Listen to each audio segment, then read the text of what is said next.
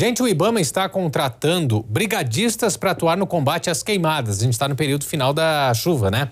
São 45 vagas aqui no Distrito Federal com salários de R$ 1.818 para os brigadistas, de R$ 3.030 para os chefes de esquadrão e chefes de brigada. Quem tiver interesse deve se inscrever na sede do Ibama entre amanhã e a terça-feira da semana que vem.